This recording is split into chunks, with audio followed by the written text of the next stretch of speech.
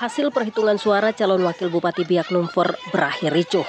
Diduga kericuhan ini terjadi dari masa pendukung salah satu kandidat calon wakil bupati yang merasa tidak terima dengan hasil perolehan suara.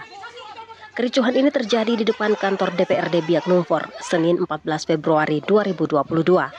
Dari perolehan suara, Calvin Mansnembra dari Partai PDIP mendapat suara terbanyak, yakni 15 suara mengungguli Max Kray dari Partai Golkar yang memperoleh 9 suara. Dari hasil perolehan suara dalam rapat paripurna yang berlangsung di ruang sidang utama, secara resmi menetapkan Calvin Mansnembra resmi terpilih sebagai Wakil Bupati Biak Numfor periode 2019-2024. Terlihat salah satu calon wakil bupati Biak Numfor, Max Kray, berusaha menenangkan masa. Untuk menenangkan masa, Ketua PLT Partai Golkar Isak Rumbarar mengatakan, Partai Golkar menerima hasil keputusan tersebut demi kepentingan masyarakat Kabupaten Biak Numfor.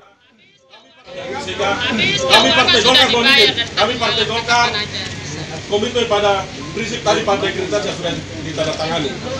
Dengan demikian tadi apa yang disampaikan oleh Pak lupakan uang kita bahwa perjalanan ke depan itu masih panjang. Untuk itu, jangan menambah ada bicara, kami bicara bicara apa yang tadi sarankan, mari kita pulang dan kami Partai Golkar dengan lapang dada menerima itu karena demi kepentingan orang dia. Terima kasih. Untuk diketahui selama dua tahun kursi wakil bupati mengalami kekosongan sepeninggal wakil bupati terpilih Nehemia Waspakrik dari Partai Golkar. Nehemia Waspakrik meninggal sebelum pelantikan. Dari Biak, Lisa Rumkorem mengabarkan untuk Noken Live.